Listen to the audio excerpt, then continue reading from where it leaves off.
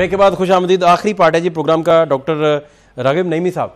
یہ دل بدلے تو چیزیں بدلتی ہیں جی اور شعور جو ہے وہ دل سے اس کا بڑا گہرا تعلق ہے۔ کیا ایسا عمل کیا جائے اور کیا ایسا عمل ہونا چاہیے پریکٹسنگ کہ وہ دل کی حالت بدل جائے اور ساری سوسائٹی جو ہے وہ ایک دوسرے کا دم بھرے۔ احساس کا جو آپ کو مرتبہ ہے وہ بدرجہ عتم نظر آئے، وہ سڑکوں پہ نظر آئے، لوگوں کے گھروں سے شروع ہو، ہمسایوں کے لیے سہار کا جذبہ نظر آئے۔ وہ ساری چیزیں بیمار کے لیے، وہ تیمارداری کے سارے معاملات، جو جو کردار تھا حسینیت کا، وہ کردار ہر جگہ قلب میں سرائیت کر جائے، کیا میکانزم ہے ڈاکٹر صاحب؟ کس طرح کیا جا سکتا ہے؟ اس کے لیے تو سب سے پہلے ہمیں اپنی عوام کو شعور دینا ہوگا اپنے عوام کو تعلیم دینی ہوگی، آگہی دینی ہوگی، بھلے سے وہ دینی ہے یا دنیاوی ہے، جب تک آپ انہیں اس نہج سے نہیں گزاریں گے، ان کی تربیت نہیں کریں گے، ان کو تعلیم نہیں دیں گے اور ان تمام سے بڑھ کے نبی کریم صلی اللہ علیہ وآلہ وسلم کا اخلاق اور آپ کی سرد طیبہ اپنی عوام کو نہیں سکھائیں گے اور اس سے نہیں گزاریں گے۔ اس وقت تک ہم عوام میں یہ شعور پیدا ہی نہیں کر سکتے اور عوام میں اس چیز کو پیدا کرنے کے لیے میں یہ سمجھتا ہوں کہ مختلف سٹیک ہولڈرز ہیں جنہیں اپنی اپنی جگہ پہ کام کرنے کی ضرورت ہے۔ اس میں ہم ریاست کی ذمہ داری بھی سمجھتے ہیں۔ ہم اساتذہ کی جو تربیت کا پہلو ہے، اسے بھی ہم نظر انداز نہیں کر سکتے ہیں۔ اور سب سے بڑھ کے جو ہمارا اپنا مکتبہ فکر ہے، جسے ہم علماء کا مکتبہ فکر کہتے ہیں، تو یہاں پہ علماء پر بھی بہت بڑی ذمہ داری ہوتی ہے کہ وہ معاشرے کے ان مختلف طبقات کو آپس میں ایک دوسرے سے انٹیکٹ رکھیں، جڑے رکھیں اور کسی بھی طریقے سے تفریق اور انتشار پیدا نہ ہونے دیں۔ اور اس ضمن میں مختلف چیزوں کو اور مختلف مختلف امور کو ہمیں منظر عام پہ لانے کی ضرورت ہے، جس میں سب سے زیادہ اور نہایت اہمیت کا حامل یہ معاملہ یہ ہے کہ کوئی بھی ایسا شخص جو اپنے آپ کو عالم کہہ رہا ہے اسے اس وقت تک ممبر پہ نہ بیٹھنے دیا جائے جب تک وہ مستند نہ ہو جب تک وہ باقاعدہ کسی ادارے کا فارغ و تحصیل نہ ہو جب تک اس کے پاس دنی و دنیاوی اچھے اداروں کی ڈگری نہ ہو اس وقت تک اسے ممبر پہ بیٹھنے نہ دیا جائے۔ ہمارے معاشرے کے اندر مذہبی افطراک اور انتشار کا ایک بنیادی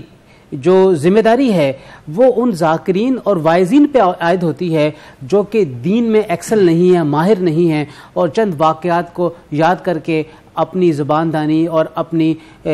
زور بیانی کے اوپر وہ پورے کے پورے معاشرے کے اندر افطراک اور انتشار پھیلانے کی کوشش میں مصروف عمل ہیں۔ اور اس میں جو ریاست کا کردار ہے کہ ایسے ایسے وائزین اور ذاکرین جو کہ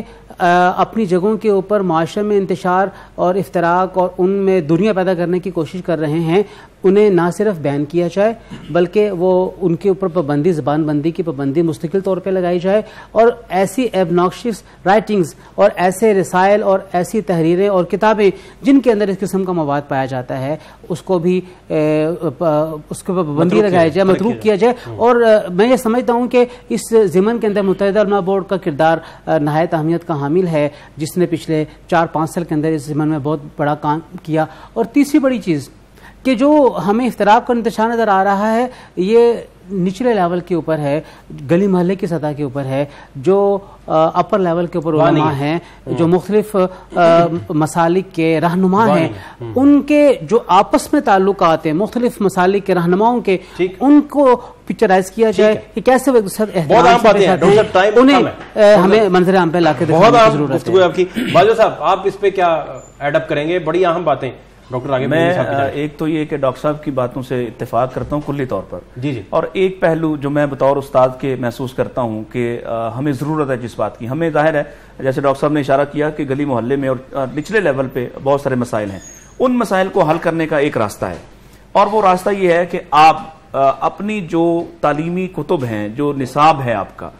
وہاں آپ چینجز لائیے اور وہاں ان مشاہیر اسلام کی پوری زندگی یعنی صرف واقعہ کربلا نہیں، یا مختلف لوگوں کی شہادت کا واقعہ نہیں، یا کسی کسی ٹریجڈی کو بیان نہ کیا جائے صرف، بلکہ اس شخصیت کے پورے کردار کا احاطہ اور یہ مختلف سطح پہ ہو۔ یعنی آپ اس کو اگر پرائمری سطح پہ شروع کریں تو آہستہ گریجولی آپ اس کو اوپر لے کے جائیں اور پورا کردار اس کو، آپ اس کی میٹرک تک انٹر تک گریجویشن تک، پورے کردار سے اسلامی تاریخ کے ان مشاہیر اور ان کے زبردست کردار سے لوگوں کو آگاہ کروایا جائے۔ اس کا فائدہ یہ ہوگا کہ آپ کے اندر جو تناؤ ہے جو سوسائٹی کے اندر تراؤ ہے وہ ختم ہو جائے گا کیونکہ سب لوگ ایک نصاب پڑھیں گے تو ان کے اندر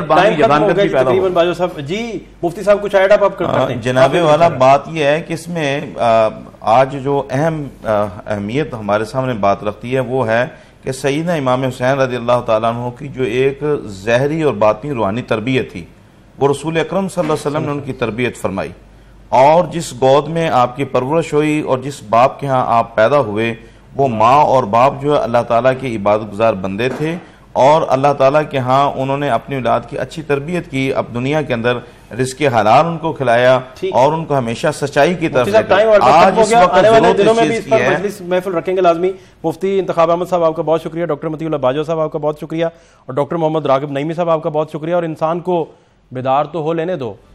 ہر قوم پکارے کی ہمارے ہیں حسین۔